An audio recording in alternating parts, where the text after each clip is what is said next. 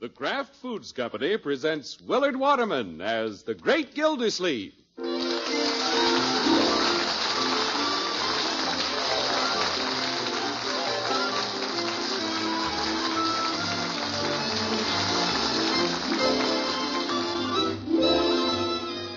Great Gildersleeve is brought to you each week by the Kraft Foods Company.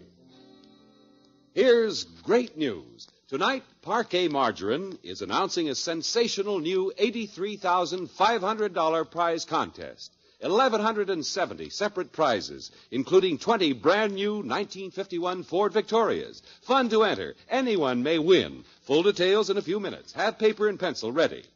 Parkay, you know, is the margarine that tastes so good because it's always fresh. Wonderful as a spread, a seasoning, or shortening. That's P A R K A Y, Parkay Margarine made by Kraft.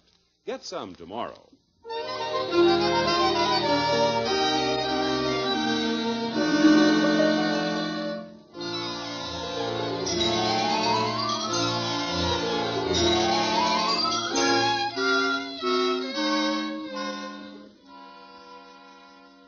Well, the temperature got down to zero in Summerfield last night. And this morning, as the first rays of the frosty dawn creep into his room, the great Gildersleeve stirs in his bed, pulls the blankets closer around his ears, and cautiously opens one eye.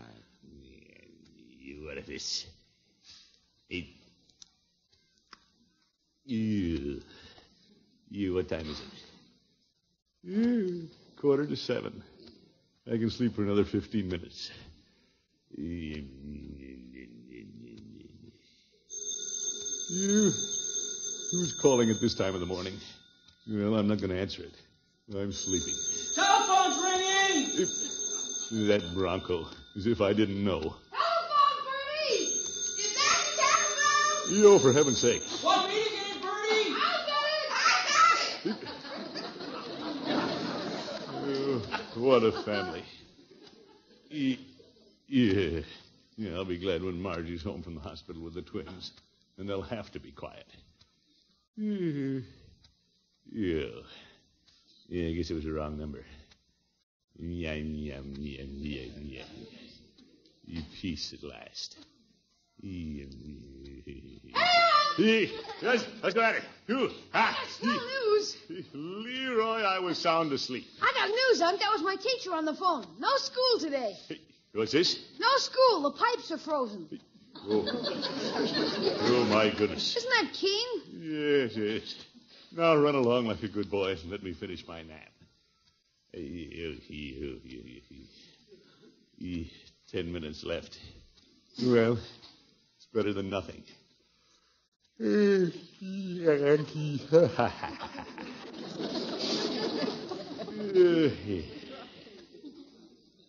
Unc, Huh? What? can I go to the office with you today? Yes, I suppose. Oh, boy. Now run along. Okay. Yeah, I'm sleepy. You go ahead and sleep. Thank you. I won't let anybody disturb you. You're a good boy. Oh, I. Hey, Birdie, I'm going to the office with Unc. Leofer! Leroy! What's that? What do you want, Unc? You answered the phone. That's your alarm clock. I got it. Time to get up. Time to get up. You great Scott, this is like living in a belfry. Answer that alarm clock. That's the telephone. We'll shut it off. Telephone! Gee, what a noisy family. Look who's talking. Miss Brown, it's for you. I'm in the shower. Tell him I'll call him back. It ain't a he, it's a she. And she says she'll talk to you, Miss Gilsey. A she? For me? Be right there. Here, give me my robe. You one side, Leroy. What a character. Good. What girl do I know who'd be calling Bronco? Here you are, Miss Gilsleeve. Yeah, thank you, Birdie. Hello? Hello, Unky. Oh, Marjorie. It's you. Well, certainly. What's the matter, Uncle Mort? Did I wake you up? Me? No, of course not. Uh, why are you awake so early in the hospital? Awake? I finished breakfast an hour ago. I have wonderful news, Dr. Evans and Dr. Charles were in this morning, and I can come home today You, you, you, today? and bring the twins. Really? What is it, Unc? What happened? Hmm, Marjorie's coming home today. Miss Margie's coming home. Yeah, today, Birdie, you bring the twins. I knew it. I knew it. Today's the day. Yeah, but Unc. Hello, Marjorie. Hello, Unky. Tell Bronco I'll be ready at 11 o'clock. 11 o'clock. I'll be there, my dear. Don't you worry about a thing. And uh, maybe Birdie would come along. She can hold one of the babies on the way home. Yeah, I'll bring Birdie. Just leave everything to your old uncle. Right, George, it's going to be good to have you home. Thanks, Unky. You'll tell Bronco, won't you? You bet. See you at 11 o'clock. Bye, Unky. Bye bye. Birdie, throw the breakfast on the table fast. You and I have to be at the hospital at 11 o'clock. Yes, sir. You just watch Birdie. She's gonna make them vittles fly. Hey, but Unc. You, Leroy, don't stand there. Get a move on. This is the big day. We've got to hurry. Yeah, but. Bronco! Oh, Bronco! Yes? That was Marjorie on the phone. We're bringing her home today. Marge is coming home? Oh, my wife coming home with the babies. What will I do? I better get dressed. Where are my clothes? Tell her I'll call her right back. But Bronco, she's all ready. Yeah, what's the difference? The way he's going, he won't even find his clothes. Unc, Leroy, what is it? you promised I could go to the office with you today. Is with Leroy, I'm not going to the office. I have to go to the hospital and bring Marjorie and the babies home. Why can't she come home on the bus? But. you don't realize, my boy, how important this is. Your sister and those babies are a precious cargo. We haven't been able to do much up to now, but by George, this is where we take over. But why does she have to come home today? Well, because we want her to come home today. You said we could go to the office. Well, we'll go to the office some other day. I'll have to go to school on another day. Those pipes will thaw out by tomorrow. Yofer. Leroy, stop thinking about yourself and start thinking about somebody else. Think about Marjorie. Yeah, this is no time to be selfish. We all have to pitch in and help. You too. You mean I can help? Sure you can. There's a lot of things to do. More than I can handle. Well, gee, let's get going. What'll I do first? Yeah, first go upstairs and get out of that bathrobe. Put your clothes on. Yes, sir. Gildersleeve, you're a natural born executive.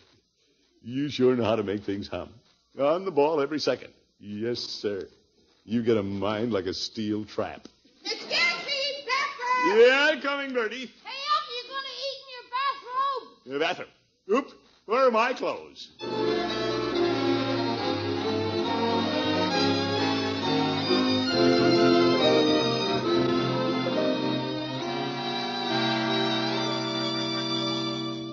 Let's see now, Birdie. We only have a couple of hours. A lot of things to do before we bring Marjorie home.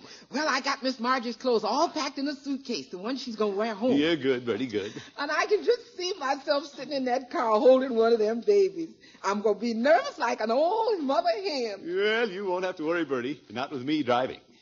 Oh, you driving Miss Margie home? You, absolutely, Birdie. I've been waiting a long time, looking forward to the day I'd pull into the driveway with Marjorie and her babies. Yes, sir. I'm finished with breakfast, Unc. Where, where do I start? What can I do? Well, somebody's got to set those two little beds up for the baby. Yeah, yeah, Keen. Where's the screwdriver and the pliers? I'll set up the beds. No, you better let me do that, Leroy. Huh? Yeah, that's kind of a tricky job. Oh, Unc. No, my boy, we wouldn't want the beds to fall down. Roll the little tykes out on the floor. I know how to put beds together. Mine falls apart all the time. There's a lot of other things to do, Leroy. Oh, certainly, plenty of things. You let me take care of the beds. We're gonna need two hot water bottles, one for each of the twins. Now, I'll get the hot water bottle. Now, wait a minute, Leroy. There's only one of them hot water bottles around here. I can't find the other one. I know where it is. Down in the basement with my tent.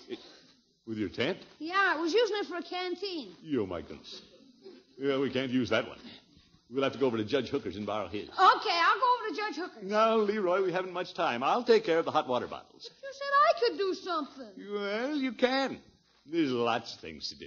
We need some things from the drugstore. Cotton and baby lotion. Well, give me a- some money. I can go down to Mr. Peavey's. Oh, Leroy, why do you insist on doing all the difficult things? You probably forget half the things you went for. I'll write them down. Well, there's no need for you to go. I'll stop in at Peavey's on my way back from Judge Hooker's. Holy cow, Unc, you're doing everything. Not letting anybody else have any fun. Now, Leroy, that's the wrong attitude. Isn't it a question of having fun? We're all doing this for Marjorie and the babies. We simply want the most capable person to do the job. That's all. Okay. At least I get to ride in the car with you when you bring Marge home. Yeah, but there won't be room for you. You mean I can't even ride with you? Leroy, this isn't a picnic. But you get to go. And I'm only going because I have to. It's my duty. All I want is to see Marjorie and the babies brought safely home. It doesn't matter to me who goes. You can say that you're going. Leroy. Leroy, listen. Think how much fun it'll be to stay here. And welcome Marjorie and the babies when they come in the door. Yeah. Oh, there you are, Mr. Gildersleeve. Well, I just talked to Marge. Everything's all set. You all set? Yes, sir. Mr. Bullard is letting me use his Cadillac, and I'm picking Marge up at the hospital at 11 o'clock. You, you use your Cadillac? You're picking her up? That's right. We'll make a little bed in the back seat for Marge and one of the babies, and Birdie can sit with me in the front seat and hold the other one. Good arrangement, don't you think? Well, the fact is, Bronco, yeah, I sort of planned on going myself. Oh, I'm awfully sorry, Mr. Gildersleeve, but I'm afraid there won't be room for you. You won't be room, huh? I hope you don't mind, Mr. Gildersleeve. No. No. Ah, think how much fun it'll be to stay here and welcome Marge and the babies when they come in the door. Leroy.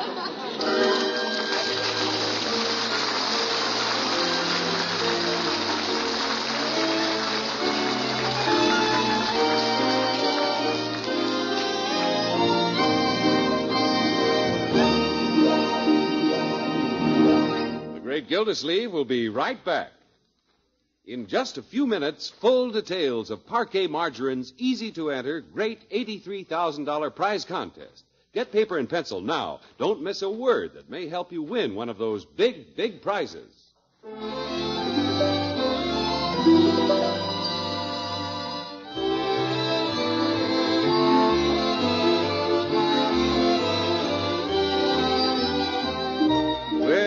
Well, Gildersleeve had it all planned that he would drive to the hospital this morning to pick up Marjorie and the new twins.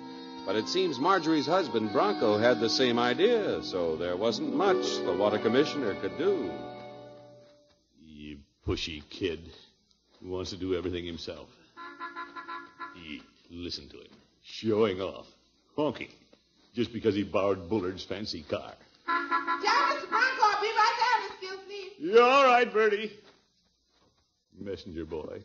That's all I am around here. Birdie will be right out, Bronco. Thanks, Mr. Gildersleeve. Sure. There's plenty of room in that car. I could have sat in there someplace. Darn kid is just trying to hog the whole thing for himself, that's all. Sure wish you could go along, Mr. Gildersleeve. Oh, no, I don't mind. I had a lot of things to do anyway. He knows darn well I wouldn't go. The only reason he said that. Sometimes I think that boy is a little crooked. If you planned on going, Mr. Gildersleeve, I'll stay here. Oh, no, I wouldn't think of it, Bronco. You go ahead. He's smooth. Well, here we go, Mr. Gilsleeve. we're going to get the babies. Well, have a good trip. Yes, sir, we're going to get the babies. We'll be waiting for you. See you later, Mr. Gildersleeve. Ta-ta!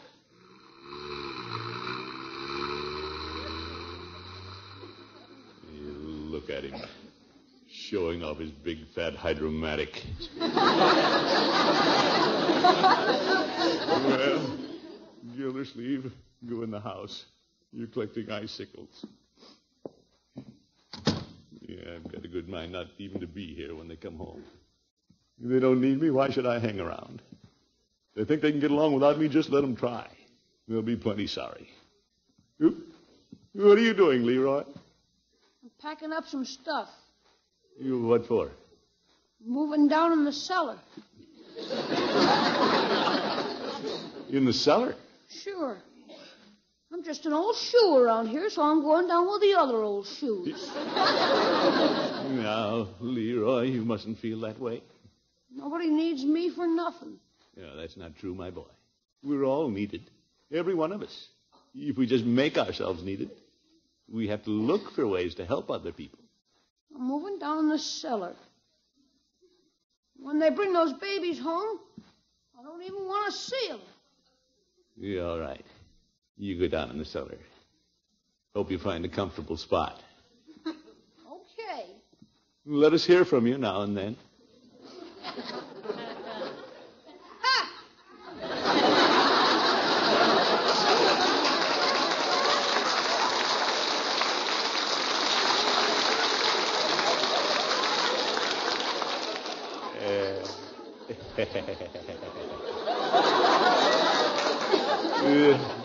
Boy's nose is out of joint. He's jealous of the babies. Thinks he isn't needed. Well, he'll come around. Right, George, I feel better myself, though. Why should I get steamed up just because Bronco wanted to drive Marjorie home from the hospital? There's lots more important things to do than that. Say, yeah, I'll bet Bronco went off and forgot all about the really important things. The hot water bottle from the judge. The list of things from the drugstore. That's just like a kid. Get going, Gildersleeve. Uh, I'd like to know what they do without you around here.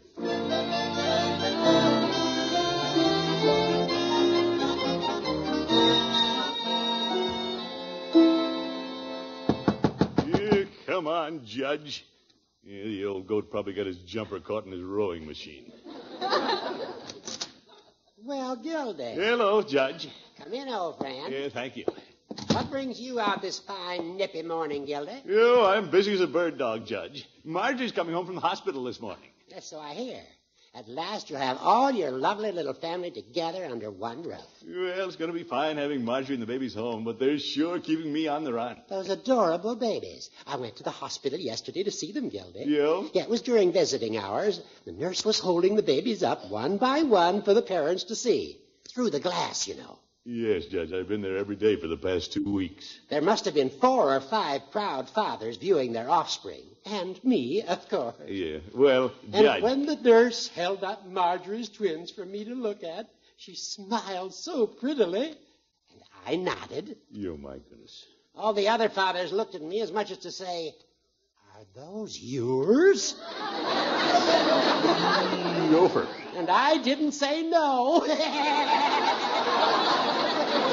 Judge! I simply couldn't resist, Gildy. What a glorious feeling it must be for Bronco to be the father of two such fine children. Yeah, we agree on that, Judge. But Bronco's still just a boy, an irresponsible kid. He forgot all the important things. It's just a good thing I was around, that's all. What'd you forget, Gildy? Yeah, that's why I came over, Judge. They need an extra hot water bottle when they bring the twins home. He went off and forgot all about it. No, he didn't. He, what? He stopped by here on his way to the hospital and he picked it up. He did. Yes, indeed. What else did he forget? Well, plenty of things. There's a list of things a mile long they need from the drugstore. It is up to me to go get them. Irresponsible kids. Yeah, I'll see you later, Judge. I have to rush over to Peavey. Maybe I can help, Gildy. No, thank you, Judge. I can handle it.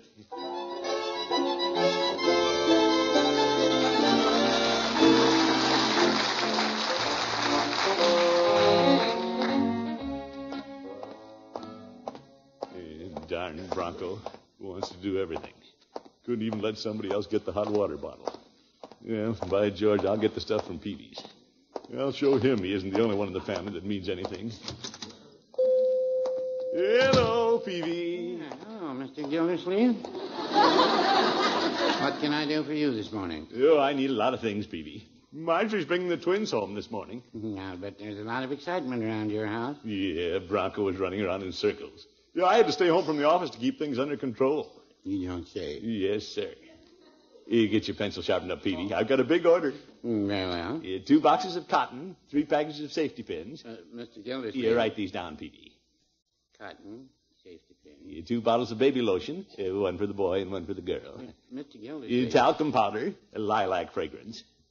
Are you sure you want to buy all these things? Yeah, of course I do, Peavey. Somebody has to do it. Well, all I can say is you're going to have an awful lot of cotton and safety pins around your house. Yours this? Bronco was in this morning and bought the same things you're buying.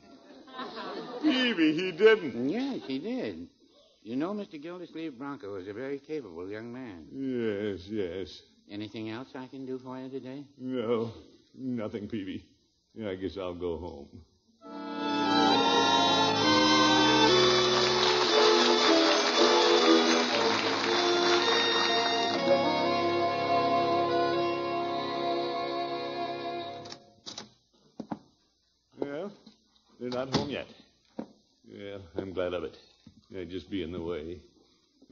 Old extra uncle getting underfoot. You wonder where I can go. Are you um? Leroy, where are you? in the cellar? In the cellar. Gildersleeve, that's where you belong. Down with the rest of the junk. What you doing, Unc? Yeah, I'm coming down. Move over, my boy. What's the matter, Unc? Yeah, I feel pretty low, Leroy. You and I are just excess baggage around this house, I guess. Pull up a box and sit down, Unc. Yeah. Yeah. Yeah. You were right, Leroy. Nobody needs us. It's okay. We got each other. You try to do your best, work and help. And then when they bring the babies home, you've forgotten. Yeah, We just don't matter anymore. yeah. Let's run away. Well, why run away? Nobody'd miss us. Somebody pulled in the driveway. They're home. You wonder who carried the babies in. Who cares? Let me help you, Marge. I'm all right. You carry the baby. I got this one. Everybody's got a baby but me. What you say, Unc? Yeah, nothing. Where are Leroy and Uncle Mort? They were here when I left. Mr. Gildersleeve? Leroy, we're home. Don't say nothing, Unc. Did you hear that, Leroy? That was one of the babies. Yeah. Maybe a pin sticking him. You wonder what they're doing up there. They don't need us. No, I suppose not. You can put the babies in their beds, Birdie. Dad? Holy smoke. I forgot to put the beds together. Leroy, you forgot to put the beds together. How do you like that? That irresponsible kid. I'll get the screwdriver. Grab the pliers. Come on, Leroy.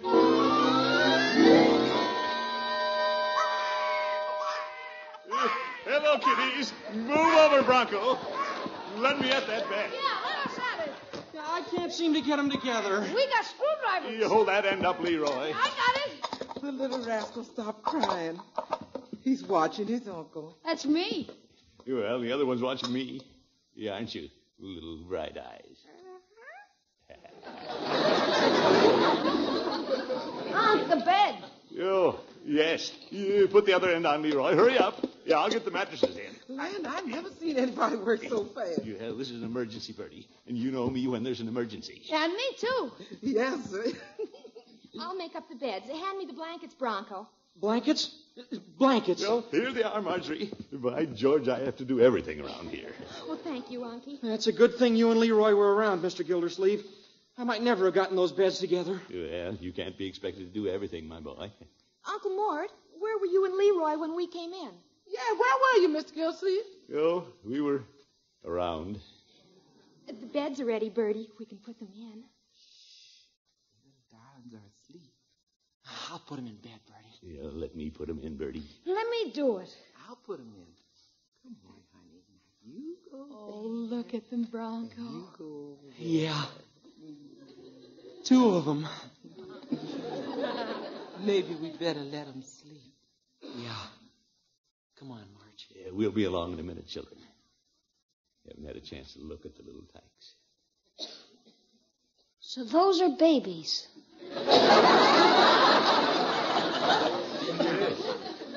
Your niece and nephew. Yeah, how nicely they went into their little beds. Yeah. They didn't put up much of a fight, did they? Yeah, they're good babies. Wonder what they're dreaming about. Yeah, they haven't been in this world long enough to dream, but they will. Unc, what are those beads around their necks? Well, those beads have letters on them, Leroy. The hospital put those on. They spell out the baby's name. What are their names? I, I don't know. Let's look. Uh, beads just say boy and girl. Gee, they gotta have better names than that. Yeah, they will, my boy. Marjorie and Bronco haven't been able to decide, I guess. Good, somebody will think of some fine names for them. You wait and see.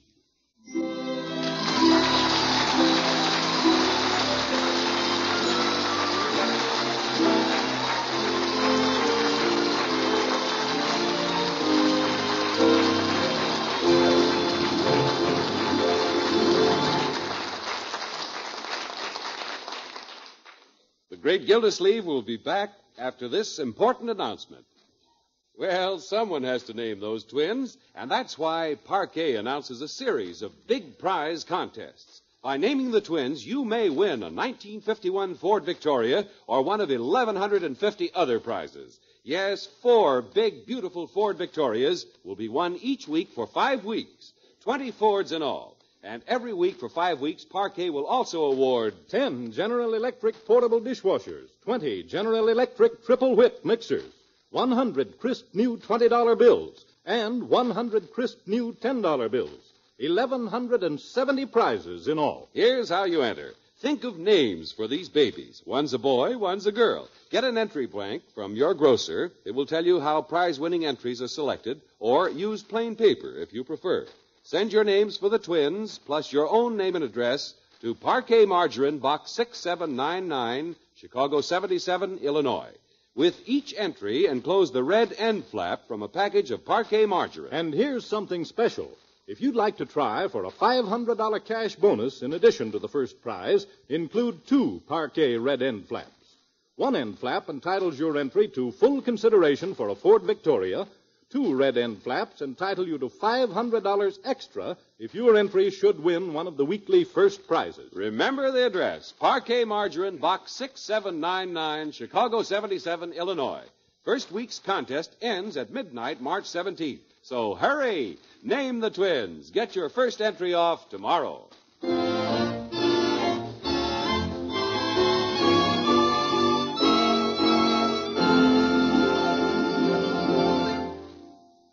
This is Gildersleeve again, friends. Mighty nice of you folks to help us out with names for the twins. You hope you think of some good ones, and I know you will. By the way, speaking of the younger generation, this week marks the 39th birthday of the Girl Scouts in America. 39 years of building good citizens. Girl Scouts everywhere, keep up the good work. We're all proud of you. Hey, Unc, Oh, what is it, Leroy? telegram for you. For me? Well, I wonder what this is. Uh, let me see now. Let's say, uh, dear Throckmorton, remember me? Remember the girl who sang to you one rainy afternoon? Remember the girl who sang the song, The Girl in the Woods? I'll be back in Summerfield next week, and maybe you'll hear it again. Affectionately, Katie Lee. Katie Lee. Yeah, she's coming back next week. See you then. Good night, folks.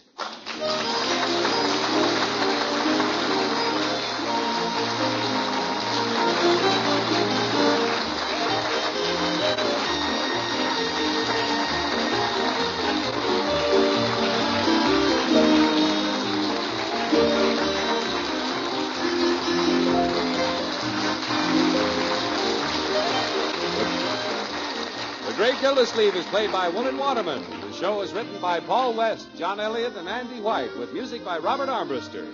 Included in the cast are Walter Tetley, Lillian Randolph, Dick Crenna, Mary Lee Robb, Earl Ross, and Dick LeGrand. This is John Heistand saying goodnight for the Kraft Foods Company, makers of those famous Kraft quality food products. Be sure to listen in next Wednesday and every Wednesday for the further adventures of the Great Gildersleeve.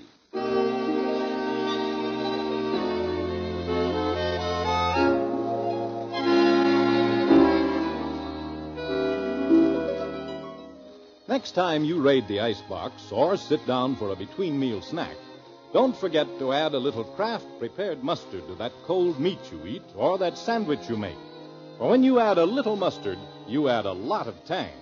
There are two kinds of Kraft mustard salad mustard with that delicately spiced mild flavor, and Kraft mustard with snappy horseradish added. Have both kinds on hand. Then, for extra zest in meat or cheese, just add a little mustard and you'll add a lot of tang. Buy Kraft's prepared mustard. Hear the Falcon every Sunday over this station. Check your newspaper for time of broadcast and listen next Sunday as the Falcon solves the case of the unsilent butler. You bet your life it's Groucho Marx. Hear him on NBC.